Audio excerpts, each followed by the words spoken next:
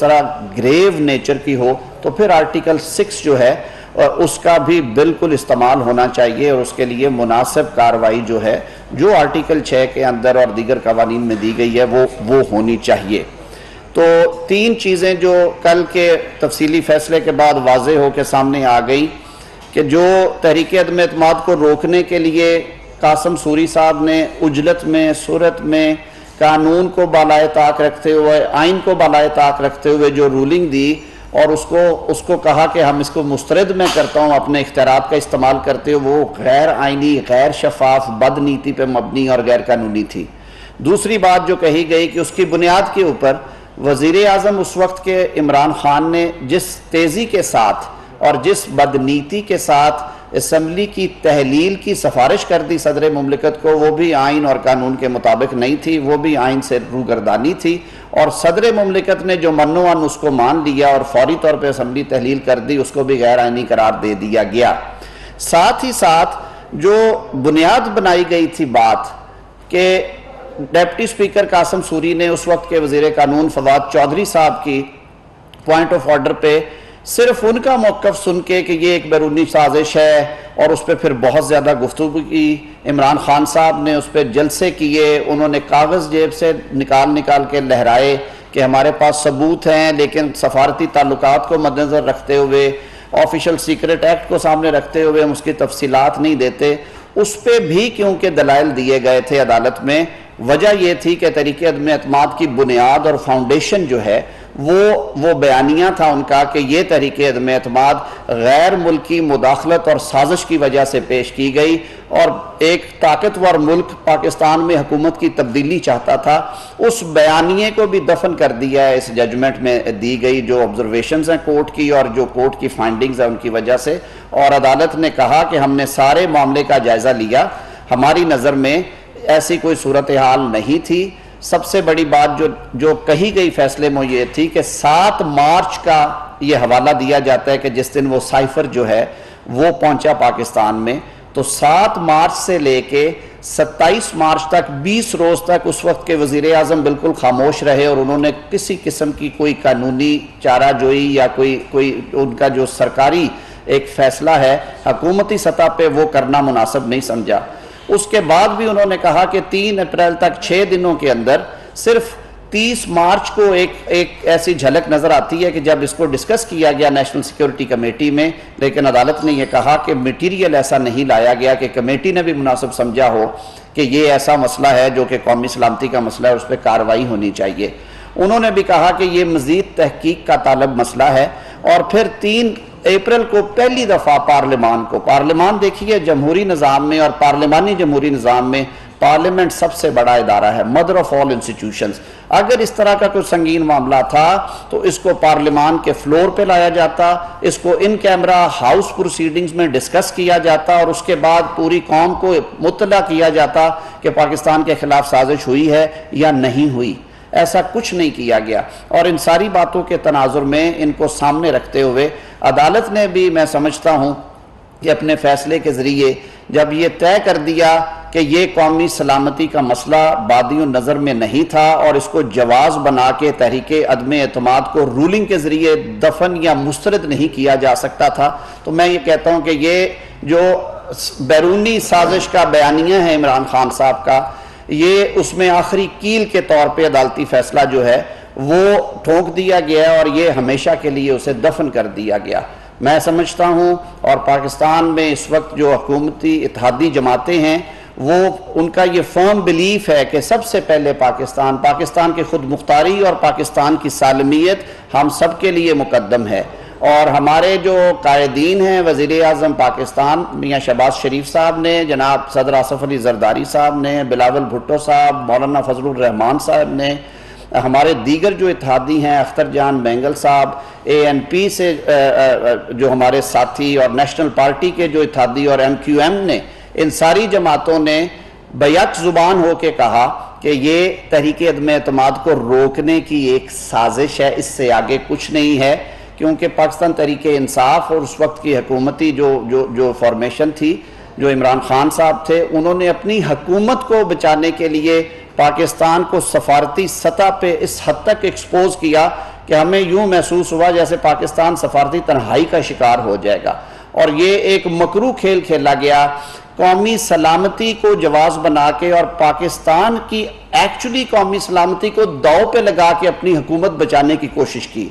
तो अब ये फैसला आने के बाद ये बात भी रोज़ रोशन की तरह यहाँ हो गई, ये बात खुल के सामने आ गई कि असल में इमरान खान साहब ने अपना इकतदार बचाने के लिए, अपने इकतदार को तूल देने के लिए और एक आइनी तरीक़ेकार से रूगरदानी करने के लिए, बचने के लिए आर्टिकल 95 के तहत जो कि कानून साज और आइन साज इदारे ने जो कानून बना के हमें दिया है उसको सबवर्ट करने के लिए, उससे रूगरदानी करने के लिए उन्होंने ये हथियार इस्तेमाल किया, जो मैं समझता हूँ कि सियासी तौर पर एक मकरू चाल थी।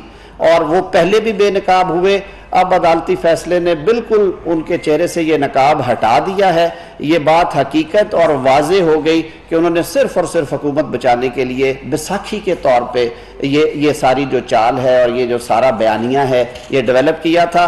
पाकिस्तान के गयूर अवाम ने भी इसको कबूल नहीं किया, पाकिस्तान की अदालतें भी इसको मानने पे तैयार नहीं, और पाकिस्तान की जो जो बाशूर सियासी क्यादत है, उसने भी इसे मुस्तरद किया। और इन शजीज़ इनको इसका हिसाब देना पड़ेगा, कौम इनसे इसका हिसाब लेगी। फैसले में यह भी कहा गया कि अदम अतमाद एक आइनी तरीकाकार है, और उसको टेक्निकल बुनियादों पर या बदनीति से जब आप डिफीट करते हैं इख्तियार का नाजायज़ इस्तेमाल करते हुए तो ये जो सियासी जमातें और उनसे मुंसलिक लोगों के जो बुनियादी हकूक़ हैं, जो आइन पाकिस्तान के तहत जिनको तहफ़ दिया गया, आर्टिकल सत्रह है, ये उसकी खिलाफ वर्जी है। और ये ये सरीहन उसकी खिलाफ वर्जी हो, अगर इस बयानी को मान के, तहरीक अदम अतमाद को अदालत रद्द नहीं करती, जो रूलिंग को रद्द नहीं करती, उसको उसको रिजेक्ट करने वाली रूलिंग को तो ये पाकिस्तान के आइन और पाकिस्तान के जो जमहूरी लोग हैं, उनके हकूक के मुनाफी होगा और उससे रूगरदानी होगी। और इसलिए अदालत ने कहा कि हम इस पर वी आर कंस्टेंड कि हम इस पर अपना फैसला जारी करें। फैसले में यह भी कहा गया कि किसी भी गैर मुल्की शख्सियत या किसी गैर मुल्की रहनुमा के, पाकिस्तान की उस वक्त की अपोजिशन जमातों के किसी भी रहनुमा या किसी कौमी असम्बली के रुकन जो कि उस प्रोसेस में शरीक थे नो कॉन्फिडेंस के, उनके साथ किसी किस्म के रवाबत की कोई शहादत हकूमत वक्त उस वक्त की जो है अटर्नी जनरल या उनकी हुकूमत नहीं दे सकी। और ये फिर एक दफ़ा उस बात की रोशन दलील है कि ये सारा जो ड्रामा रचाया गया, ये सिर्फ़ और सिर्फ़ अदम अतमाद से बचने के लिए किया गया। अदालत ने यह भी कहा कि स्पीकर जो है वो अदम अतमाद की कार्रवाई को मुकम्मल करने का पाबंद है और डेप्टी स्पीकर कासम सूरी ने इससे इनहराफ करते हुए आइन शिकनी की है और उसके लिए मुनासब इकदाम किए जा सकते हैं, जो मैंने पहले भी बात की थी। तीसरा, उन्होंने वज़ीर कानून के बारे में भी कहा कि वज़ीर कानून उस वक्त के फवाद चौधरी साहब ने, जिस उजलत में पॉइंट ऑफ़ ऑर्डर में ये बातें सामने रखी, उसके बाद डिप्टी स्पीकर पे ये फ़र्ज़ था कि वो हाउस ओपन करते, उस वक्त की अपोजिशन को मौका देते कि जिनके खिलाफ ये बात की जा रही थी, जिन पे इल्ज़ाम था कि वो अपना मौकफ बयान करते, लेकिन ये सारा कुछ इतनी उजलत में किया गया कि किसी को मौका नहीं दिया गया कि वो वो अपना मौकफ पेश पेश कर सकें। जैसे मैंने शुरू में ये अर्ज़ किया गया कि ये पाँच जज साहबान ने मुतफ़ा तौर पे फैसला जारी किया है, जिसमें उन्होंने ये सारी बातों को सामने रखने के बाद मटीरियल को असेस करने के बाद तमाम सियासी जमातों के बशमूल पाकिस्तान तहरीक इंसाफ और उनके इतिहादी मुस्लिम लीग काफ के वकला और उनके कायदीन को सुनने के बाद ये फैसला जारी किया। ये एक मुतफ़ा फ़ैसला है। दो जज साहबान ने मजीद उसमें रीज़न देते हुए कहा कि हमें इससे बदनीति की बदबू भी आ रही है और इस सिलसिले में आर्टिकल पाँच की जो वायलेशन है, वो साबित शुदा है। आर्टिकल छः के तहत कार्रवाई करने का इख्तियार जो है, वो पार्लियामान के उन्होंने छोड़ा डिस्क्रेशन पे और हुकूमत वक्त के डिस्क्रेशन पे कि वो जिस तरह से उसको डील करना चाहे वो कर सकते हैं। तो मुख्तसर मैं यही कहूँगा कि आज की जो हमारी रूलिंग कोलेशन है इतिहादी जमातें हम खराज तहसीन पेश करते हैं अदालत उज़मा के और उसके इसके, इसके फ़ैसले को कि उन्होंने आइन की बालादस्ती के लिए जमहूरीत की मजबूती और istहकाम के लिए एक बार फिर अपना किरदार अदा करते हुए एक तारीख साज फैसला दिया है और इन शज़ीज़ तारीख के और आग में लिखे हुए इस फैसले से पाकिस्तान के अवाम ये ये हमेशा के लिए डिटर्मिन किया करेंगे कि कौन हक पे था और कौन गलत था। किसने बैरूनी साजिश का सहारा लिया? और कौन बैरूनी साजिश बनाने वाले उस बयानिए के हिस्सेदार थे और कौन लोग मासूम थे, ये फैसला तारीख करेगी इन शजीज़ और पाकिस्तान के अवाम करेंगे। मैं गुजारिश करूँगा कमर जबान कायरा साहब को कि वो पाकिस्तान पीपल्स पार्टी की नुमाइंदगी काबीना में करते हैं। वो हमारे दरमियान मौजूद हैं, वो भी कुछ ऐड करेंगे इसमें बहुत शुक्रिया साहब, आपने बड़ी तफसील से कल अदालत उजमा का आने वाला फैसला और उसकी मुजरात और उसकी डिटेल्स जो आपने बयान कर दी हैं बेसिकली मैं इसको सादा अल्फाज में अगर समझूं तो यूँ है कि अदालत ने कहा कि ये साजिश का बयानिया खुद एक बड़ी साजिश थी। इसलिए कि इस साजिश से पहले जिस तरह ऐवान के अंदर स्पीकर साहब का रोल रहा, सबक वज़ीर अजम का रोल रहा, सबक स्पीकर का रोल रहा सदर पाकिस्तान का रोल रहा और उसके बाद मुंतज होता है स्पीकर के इस्तीफे के बाद।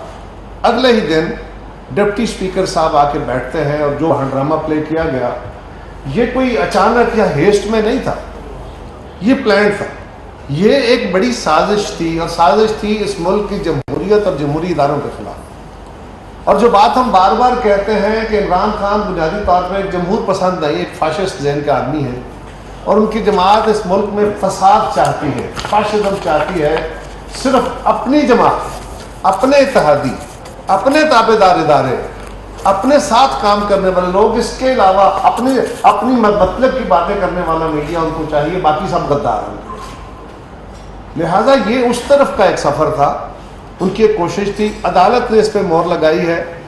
इससे पहले नेशनल सिक्योरिटी की दो मीटिंग्स हुई। वाज तौर पे ये कहा गया कि इसमें साजिश का कोई अंसर नहीं है। और फिर हैरानगी की बात यह है कि साजिश क्या? साजिश तो ये होती है कि किसी के खिलाफ किसी कौम, किसी मुल्क, किसी फर्द, किसी इदारे के खिलाफ हो तो उसे पता ना चले, या साजिश का पता टाइमली चल जाए तो वो उसको रोक सके। ये कौन सी साजिश है कि चलने से पहले वो हुकूमत पाकिस्तान के कहलकार को ये बुला के कह रहे हैं मिल के कह रहे हैं कि हम आपके वज़ीर अजम की अदम अतमाद की तहरीक को कामयाब होता देख रहे हैं या नाकाम हुई तो ये होगा। अगर उसको धमकी कहा जाए तो शायद इसमें कोई जान होती। इसमें साजिश कहाँ से आ गई? ये सबसे अजीब बात है कि इसमें साजिश साजिश साजिश। ये थी साजिश जो अदालत ने डिक्लेयर कर दी है। इससे पहले नेशनल सिक्योरिटी ने भी इसको डिक्लेयर किया। और अब अदालत ने खुले लफ्जों में और मैं समझता हूँ कि शायद मैं वकील नहीं हूँ तारड़ साहब हमारे मुल्क के बड़े नामवर वकील हैं, बड़ा दस्तरस है कानून पे। ये बेहतर इसको बयान कर सकेंगे। मेरे ख्याल में शायद अदालत ने आर्टिकल सिक्स के मुकदमे का शायद ही कभी इस तरह का ज़िक्र किया हो कि हुकूमत वक्त, क्योंकि आर्टिकल सिक्स का मुकदमा सिर्फ़ हुकूमत कायम कर सकती है। वो कोई फर्द या कोई इदारा अपने तौर पर दरख्वास्त नहीं देता। हुकूमत वक्त में फैसला करना होता है। शायद किसी और मुकदमे में मुशरफ साहब के अलावा। मैंने कहा अच्छा वो, वो, वो, वो भी उनका एक बस मुशरफ साहब का एक एक्ट था। उसके ऊपर मुकदमा चल रहा था। ये दूसरा मुकदमा है जिसमें अदालत ने कहा है कि इस पे आर्टिकल सिक्स लगना चाहिए ताकि आइंदा के लिए ये अमल बंद हो। जमहूरियत और पार्लियामान के खिलाफ होने वाली साजिशें बंद हो। इस मुल्क में जमहूरी अमल आगे बढ़े ये बड़ी बड़ी हैरान को नहीं बड़ी तवाना बात है। कि हमारी अदालतों ने खड़े होके, हमारे उस बयानी को नहीं, जो कानून के तहत बनता था, जो असूल के तहत बनता था, जो बात हम भी कर रहे थे, कि ये इस मुल्क के, अवाम के खिलाफ, निज़ाम के खिलाफ, सब के खिलाफ एक साजिश है, और ये इस निज़ाम को ढा देना चाहता है अपनी मर्ज़ी की चीज़ें मुसलत करना चाहते हैं, अदालत ने उस पर सनत दे दी है। और अब हुकूमत वक्त का काम है। बिल्कुल हुकूमत वक्त को इस पर जायज़ काम उठाने चाहिए। मैं आज भी कहूँगा, देखिए, तलखियाँ बहुत हैं। मुल्क के मसाइल बहुत हैं। इस वक्त लोग महँगाई के हाथों शदीद तंग हैं। हमें वो इकदाम उठाने पड़े हैं, जिसके अलावा चारा नहीं था। अगर खुदा न खास्ता वो इकदाम ना उठाए जाते, उनके नतीजे में लोग तंग हुए, महँगाई हुई, बहुत सारे मसाइल आए।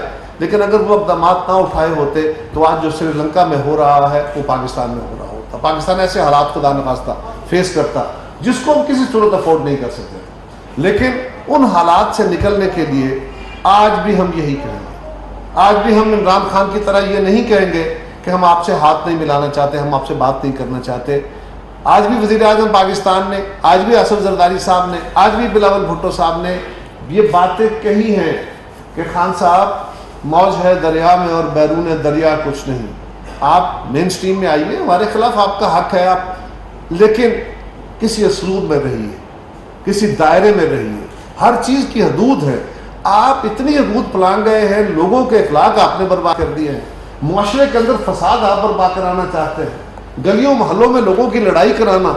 अगर इससे सिर्फ़ आपके इकतदार की तरफ़ रास्ता जाता है तो याद रखिए, ये इकतदार की तरफ़ नहीं, फसाद की तरफ़ रास्ता जाता है, और फसाद किसी के हक में नहीं। मुल्क और माशरे की बर्बादी की तरफ़ जाता है। हम गुजारिश यही कर सकते हैं खान साहब से कि वो अपने तरीका कार में मेहरबानी करके नजरसानी करें। और वो इस वक्त पाकिस्तान जिन मसाइल का शिकार है, उसमें हम उनको फिर दावत देते हैं कि इस वक्त एक इज्तमाही फ़िक्र की ज़रूरत है। आप हमारी मुखालफत कीजिए, आप अपोजिशन कीजिए, आप जलसे कीजिए, आप जुलूस कीजिए। लेकिन खुदा न खास्ता, पाकिस्तान की सालमियत और पाकिस्तान की सलामती के साथ न खेलिए। उतना, उतने दूर न चले जाइए। इतनी ना बढ़ा पाकी दामा की हकायत। दामन को ज़रा देख, ज़रा बंदे के बाद, एक अपने अपने अकदाम की तरफ़ देखिए। और हम समझते हैं कि आज इमरान खान साहब जो नया बयानिया लेके, इसके बाद उन्होंने एक और बयानिया खड़ा किया था साजिश के बाद, कि मेरी, मुझे बहुत कत्ल कर देने का खतरा, मुझे बहुत खदशा है। उस पर भी हुकूमत वक्त ने कहा कि आपको बेस्ट सिक्योरिटी फराम की गई है। आपके पास अपनी सिक्योरिटी भी है, आपके पास के पी के की सिक्योरिटी भी है, आपके पास कश्मीर और जीबी की सिक्योरिटी भी है। सो इस सिक्योरिटी के अलावा आपको प्राइम मिनिस्टर लेवल की सिक्योरिटी अवेलेबल है, फिर भी अगर आपके पास कोई शायबा, कोई इंफॉर्मेशन कोई इतला है तो मैं आज फिर कहूँगा कि खान साहब को चाहिए कि वो इतला वज़ीर दाखिला को या या आई जी पंजाब को, या आई जी इस्लामाबाद को ज़रूर दे, ताकि उसका तदारक हो सके, लेकिन वो जल्दी खुद बयानिया छोड़ गए अब उनके पास एक नया बयानिया है कि इस इलेक्शन में जो होने वाला है सत्रह तारीख को, इसमें धांधली हो रही है। और हम बार बार पूछ रहे हैं, क्या धांधली हो रही है? हम बार बार पूछ रहे हैं कि आप तो बाय इलेक्शंस में एक एक जगह जाके इलेक्शन कमीशन के हुक्म की वायलेशन करते हो। वाजे तौर पे आपको उन्होंने कहा। और आप बीइंग प्राइम मिनिस्टर आपको जुर्माने हुए। आपके वजरा, आप खुद, खान साहब, आप जाके जलसे करते थे, वो इलेक्शन कंपेन्स करते थे। आज हमारा तो कोई बंदा, हमारा तो कोई वज़ीर कोई वज़ीर आज़म कोई वज़ीर आला जाके कंपेन नहीं कर रहा। हम तो कानून और आइन के ताबे काम कर रहे हैं। फिर भी आपको गुमान है और फिर भी आपका ख्याल है कि साजिश हो रही है तो मेहरबानी करें। हमें उस साजिश से आगाह तो फरमाएँ। बयान करें कौम के सामने कि क्या साजिश है। हाँ हमें डस्का के अंदर होने वाले तरक्याती काम भी याद हैं। गलियाँ नालियाँ भी याद हैं, गैस के पाइप भी याद हैं खंबे भी याद हैं, सब याद है। आप भी फरमा तो दीजिए ना। एक ख्याली बात बनानी, उसको इतना खेलना उसके साथ कि लोगों के जहनों में एक शक पड़ेगी, यार कुछ तो है। और ये बहरहाल, हमारे कुछ मीडिया के साथी भी बगैर तहकीक के उस अमल को, जो बात वो कह देते हैं उसको पकड़ के उस पर प्रोग्राम शुरू कर देते। हैं और नतीजतन लोगों में कंफ्यूजन फैलता। हम आज आपसे भी गुजारिश करना चाहते हैं, अगर कोई सच्ची बात है, अगर किसी बात को आपका जेन मानता है और आपको कोई एसेस दिया जाता है, ठीक है ना? हुकूमत वक्त के खिलाफ एक इल्ज़ाम लगता है। उस इल्ज़ाम को पचास दफ़ा बयान करना, बहरहाल, अपनी जगह उसकी एक अपनी अहमियत होती है, भले वो गलती हो। सो उसको इतनी तहकीक ज़रूर होनी चाहिए कि इल्ज़ाम लगाने वाला कोई तो साथ एविडेंस दे। यहाँ बैठे हुए मैं किसी के खिलाफ भी बयान देता हूँ, अगर उस बयान पर प्रोग्राम शुरू हो गए, वो बेचारा तो गया ना। उसकी तो कैरेक्टर एसोसिनेशन हो गई। सो इसके ऊपर आपको भी तवज्जो देनी चाहिए और मैं फिर खान साहब को कहूँगा कि पॉलिटिक्स में अच्छे बुरे वक्त आते रहते हैं। अगर आपने जमहूरियत की सियासत करनी है, अगर आपने जमहूरी रवैये अख्तियार करने हैं, अपनी जमात को जमहूरी बनाना है तो पहले इस मुआरे की बेहतरी, यहाँ के अखलाक की बेहतरी की कोशिश करें। बेर मिनिमम पे खड़े हों और अगले इलेक्शन के लिए अपनी तैयारी करें। हमारी हुकूमत को हटाने के लिए, जिस तरह हमने उनकी हुकूमत हटाने के लिए आईनी और जमहूरी तरीका इख्तियार किया था, वो भी कोशिश करें। अगर लोग उनके साथ चलते हैं तो कोई मसला नहीं, करें। और हमारे खिलाफ अदम अतमाद नहीं और जलसे करना चाहते हैं, जुलूस करना चाहते हैं, बिल्कुल करें। लेकिन अब उनके बयानिए पिट रहे हैं। अब उनके आस्ता आस्ता असलियत कौम के सामने आती जा रही है। उनके पहले हुकूमत में आने से पहले जो बयान थे, वो सारे हवा हुए। सारे। उनके जो वादे और दावे थे, वो सारे खत्म हुए। ना 200 डॉलर 200 अरब डॉलर आया, ना पाकिस्तान में इंसाफ का निज़ाम पनपा, न मेरिट आया, न उन्होंने पाकिस्तान के नौजवानों को रोज़गार दिया, ना एक करोड़ घर बनाया नौकरियाँ दी, ना पचास लाख घर बने, ना पाकिस्तान के अंदर टैक्स का निज़ाम बेहतर हुआ, जितने वादे उन्होंने किए थे। उन सबसे तो यू टर्न ले गए। अब हुकूमत में निकलने के बाद जितनी बातें उन्होंने की हैं, जो दावे उन्होंने किए हैं, जो उनका मीडिया ट्रेंड बने हैं, आज वो कहाँ खड़े यही उनका मुकदर है। जिस तरह अदालत ने यह फैसला दिया, नेशनल सिक्योरिटी कमेटी की मीटिंग्स में फैसले हुए, मैं समझता हूँ कि अब भी उनको चाहिए।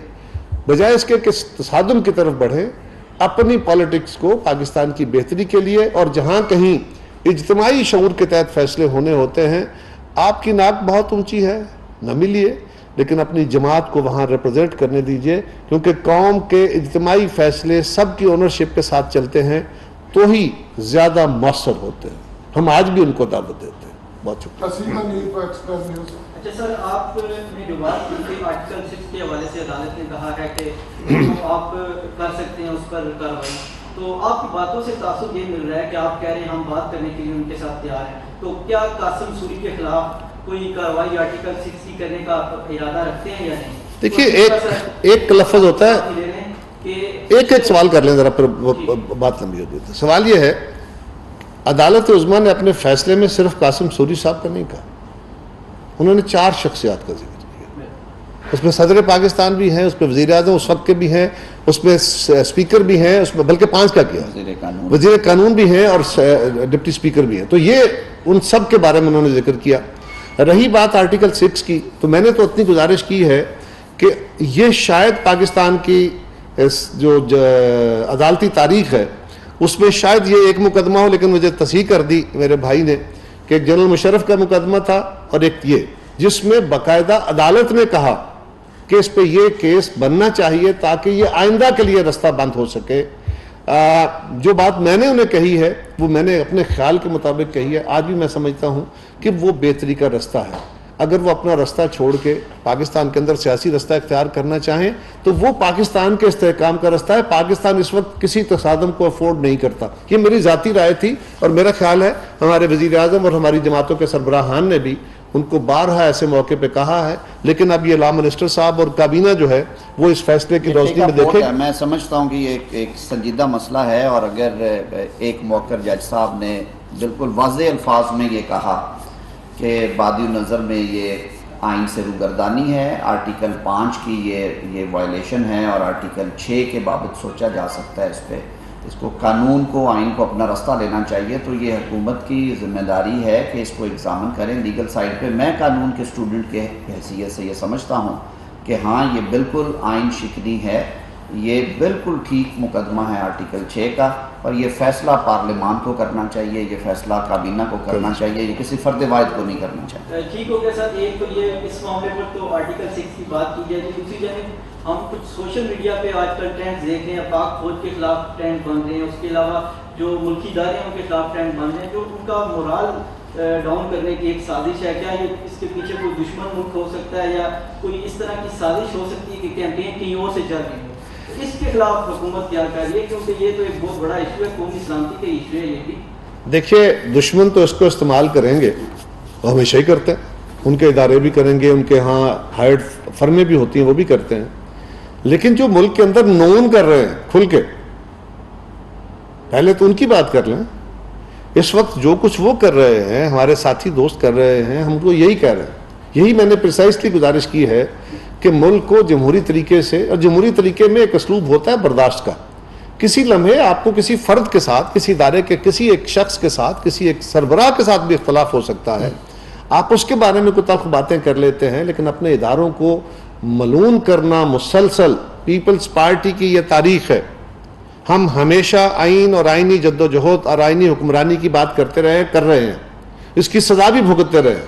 लेकिन हम कभी भी इदारों के ख़िलाफ़ इस तरह का तहकीर अमेज़ रवैया अख्तियार नहीं करते। ये बड़ा अफसोसनाक है और वैसे तो खान साहब की अपनी हुकूमत इसके बारे में कानून बना के गई है। आज उनका कवानीन पर अगर अमल किया जाए तो फिर आपको पता ही है उसके माने क्या निकलेंगे उस पर क्या शोर होगा।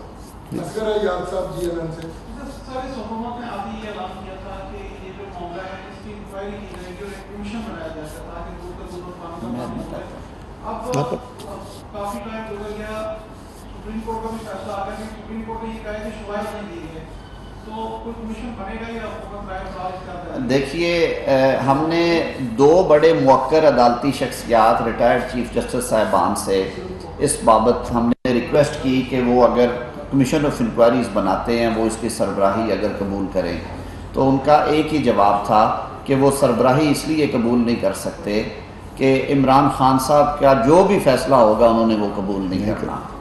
तो इस वजह से हमने दूसरा मरहला हमारे दूसरी ऑप्शन ये थी कि ऑलरेडी पिछली हुकूमत ने अदालत उज़मा को चिट्ठी लिखी थी उस वक्त के वज़ी कानून फवाद चौधरी साहब ने जिसका तस्करा इस जजमेंट में भी है। हमने अदालत उज़मा को दोबारा नहीं कहा कि आप वो ना करें उस पर अमल। यानी कि हुकूमत की वो दरख्वास्त जो है कि इस पर अदालत उज़मा कमीशन बनाए, अदालत के जो मौजूदा जज साहिबान हैं, उन पे मुश्तमिल कमीशन और इस पर वो वो कार्रवाई का आगाज़ करें। वो हकूमत पाकिस्तान की तरफ़ से दरख्वास्त है सुप्रीम कोर्ट ऑफ़ पाकिस्तान में, जो कि पिछले तीन माह से ऑलमोस्ट वहाँ पे पेंडिंग है। और सुप्रीम कोर्ट ने भी अपनी जजमेंट में भी उन्होंने तकरीबन ये कह दिया कि उन्हें इसमें को बहुत संजीदगी नज़र नहीं आई। ये मामला ऐसा संगीन नहीं जिस तरह से इसे पेश किया गया। और शायद अदालत ने भी इसको एक सियासी क्वेश्चन समझते हुए इसमें इन्वॉल्व होना मुनासिब नहीं समझा, क्योंकि अदालत पे एक अपनी तकरीम और अपनी तोकीर होती है और अदालत आम तौर पे पॉलिटिकल क्वेश्चंस जहाँ पे दो पार्टीज़ आमने सामने हों, उसमें नहीं घुसना चाहती। तो ये अदालत का फैसला होगा कि अदालत किस तरह से इस, इसको प्रोसीड करना चाहे। हुकूमत पाकिस्तान यानी कि वज़ी अजम शहबाज शरीफ साहब की जो जो इतिहादी जमातों पर मुश्तमिल हुकूमत है, वो उस दरख्वास्त को ओन करते हैं और हम हर लम्हा तैयार हैं, अगर सुप्रीम कोर्ट ऑफ़ पाकिस्तान उस पर प्रोसीड करती है तो हुकूमत जो हुकूमती ताउन है, वो पूरा का पूरा इन शजीज़ हाजिर हो एक इस पर गुजारिश ये भी है, मैंने कुछ दसियों प्रोग्राम्स में खान साहब से गुजारिश की कि गवर्नमेंट का कायम करदा कमीशन आपको कबूल नहीं होगा। आप बताएँ, आप किस जज साहब से इंक्वायरी कराना चाहते हैं? उसका जवाब भी नहीं दिया गया। क्योंकि हम चाहते थे कि वो अपनी मर्ज़ी का कोई कमीशन बना ले, ताकि खान साहब का कल उसको ओन तो करें, उसकी जजमेंट को, उसको, उसकी फाइंडिंग्स को। वो नहीं करेंगे, और दूसरी गुजारिश ये है कि इस जजमेंट के अंदर जो अहम बात है, वो ये है कि इसके ऊपर तो उन्होंने कहा कि हमें शवाहद नहीं दिए। किसने देने थे? जो साजिश का कह रहा है उसने देने थे। उस वक्त की हुकूमत। उस वक्त की हुकूमत ने देने थे। उस वक्त वो थे। जी उस वक्त वो हुकूमत में थे। उन्होंने वो शवाहद देने थे और वही कह रहे थे कि साजिश है। हम तो नहीं कह रहे थे। हम तो उसको डिफेंड कर रहे थे कि साजिश नहीं है। लिहाजा अदालत ने उनके ऊपर यह डाला है कि वो फेल हुए हैं। अदालत को सेटिस्फाई करने में। अब अदालत जरा मोहतात अल्फाज इस्तेमाल कर लेती है जिस तरह ताड़ साहब ने कहा। हम जरा खुल के बातें कर लेते हैं। दूसरी गुजारिश है कि अदालत ने इसका दूसरा पहलू जो साजिश का पहलू है जिसमें उन्होंने आर्टिकल सिक्स की बात की है वो पाँच शख्सियात का ज़िक्र करते हुए कहा है कि यहाँ एक बहुत बड़ी साजिश हुई है जिसको हुकूमत वक्त को आइन और कानून के तहत इसको आर्टिकल सिक्स के मुकदमे की तरफ़ जाना चाहिए। Law should take its course यही होता है। यही अदालत कहती है। वो अंदराज मुकदमा का डायरेक्ट हुक्म तो नहीं देते। जी। आखिरी सवाल अच्छा, तो मतलब सवाल ये है कि जैसे आपने कहा कि अ, जो इलेक्शन हो रहा है उससे पहले इनाम वगैरह किए जा रहे हैं हमने ये देखा था हमजा शहबाज ने बिजली का ऐलान में चले गए अभी शहबाज शरीफ जो है वो पेट्रोल के हवाले से बात करें मुतनाज़ा एक चीज़ बनती जा रही है। जब इसको जो आर्मी सतह पर पेट्रोल की कीमतों की अगर बात करें तो उसको कम हुए हुए काफ़ी अर्सा हो गया। मतलब दो हफ़्ते तकरीबन हो गए अब सौ से भी कम हो गया। इन टाइम आवाम को रिलीफ क्यों नहीं दिया गया? वहाँ तक क्यों नहीं पहुँचाया गया? अब जब इलेक्शन सिर्फ़ दो दिन रह गए तो ये ऐलान करके क्या ये इलेक्शन पर असरदारों देखिए पहली गुजारिश तो ये है इस सवाल को बहुत दफ़ा हम एड्रेस कर चुके हैं। बहुत दफ़ा सैकड़ों दफ़ा रादर पंजाब के 20 हलकों में इलेक्शन हो रहा है और पंजाब के कुछ साढ़े तीन सौ हल्के हैं सिर्फ़ 20 हलकों के अंदर इलेक्शन साढ़े तीन सौ हलकों के लोगों को रिलीफ ये कौन सा मदाखलत का अमल है ये कौन सा रिश्वत का अमल है और फिर 100 यूनिट इस्तेमाल करने वाले कितने लोग होते हैं 10 परसेंट पंद्रह परसेंट बीस परसेंट जो लोअर कैडर में लोग आते हैं कम इस्तेमाल करने वाले उन लोगों को रिलीफ दिया गया है उस हलके के अंदर, उन हलकों के अंदर बाकी लोग भी बैठे हैं जिनको कोई इंसेंटिव नहीं दिया गया। ये इंसेंटिव उनके लिए है नहीं। बुनियादी तौर पे ये बजटेड अमाउंट थी और बजट इन इलेक्शन से बहुत पहले आया था। उस वक्त तक तो इलेक्शंस का तस्वर नहीं था। और बजट की प्रेपरेशन हो गई थी। इसकी तफसील भी हम मीडिया को बार बार जारी कर, पंजाब गवर्नमेंट भी जारी कर चुके हैं, हम भी जारी कर चुके हैं। और उसमें यह तफसील आई थी। फेडरल गवर्नमेंट अगर, और इसके इसके बाद मेरे ख्याल में अब ये खान साहब का एक सिर्फ़ वही बयानिया है, जिस तरह ये साजिशी बयानिया था। अब को आपको भी चाहिए कि हमारी इन वजाहतों के बाद इस सवाल को मजीद ना उछालें इसमें है कुछ नहीं। अगर आप करना चाहें तो आपकी मर्ज़ी है। दूसरा, जो पेट्रोलियम प्राइसेस हैं, पाकिस्तान में एक बम गिरा है, पूरा हमारी कमज़ोर इकोनॉमी थी। पहले ही हम बड़े दबाव में थे और आलमी हालात के तहत हमारे पास, जो तेल की कीमतें बढ़ी, हमारे पास तो कोई गुंजाइश नहीं थी। ये कितना मुश्किल फैसला था जो हमने उस वक्त किया तो आवाम के लिए बहुत मुश्किल का बायस बना। और हमें पता था इसकी कीमत होगी। इसके बावजूद इमरान खान ने वो कीमत अदा नहीं की। हमने वो कीमत इसलिए अदा करना चाहिए और इसका फैसला कर लिया कि करेंगे कि खुदा न खास्ता अगर ये ना किया तो श्रीलंका वाला हाल हो जाएगा। डिफ़ॉल्ट में जाएँगे, बर्बादी उतर जाएगी। लिहाजा वो फैसला किया। आज अगर उसका रिलीफ आ रहा है तो एक याद रखिए। एक तो ये ये कि पेट्रोलियम की प्राइसेस जब आप पास ऑन करते हैं ना तो उसको 10-12 दिन के बाद, ये हर फोर्थ नाइट में इसकी एडजस्टमेंट होती है, हर हर रोज़ नहीं होती। तो जब भी रिलीफ दिए जाते हैं, या उसकी प्राइसेस बढ़ाई भी जाती हैं तो वो डेली नहीं होती। इसी तरह जब प्राइसेस बढ़ रही होती है तब ये पंद्रह दिन के बाद बढ़ाते हैं। तो एक टाइम लाइन के तहत है, उसका पंजाब के उन बारह हल्कों से नहीं, पाकिस्तान भर में कोई हज़ार के करीब हल्के हैं, वो पाकिस्तान के हर फर्द के लिए है। लिहाजा ये ये मुनासब जो उनका एतराज़ है, नहीं जी थैंक यू थैंक यू जी थैंक यू बहुत शुक्रिया। YouTube पर गूगली न्यूज़ देखने के लिए youtube.com की सर्च बार में गूगली न्यूज़ टीवी टाइप करें। गूगली न्यूज़ के पेज पर सुर्ख रंग के सब्सक्रिप्शन वाले बटन पर क्लिक करना ना भूलिए। YouTube पेज पर अपलोड होने वाली वीडियो से बाखबर रहने के लिए बेल आइकन पर क्लिक कीजिए। आपको हर नई वीडियो के बारे में नोटिफिकेशन मौसू हो जाएगा।